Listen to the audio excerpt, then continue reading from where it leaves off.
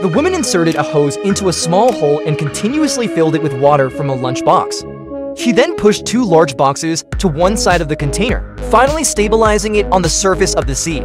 Anna had been trapped for three days by now, and hunger was almost making her faint. However, she discovered that the baby's diaper had attracted numerous fish.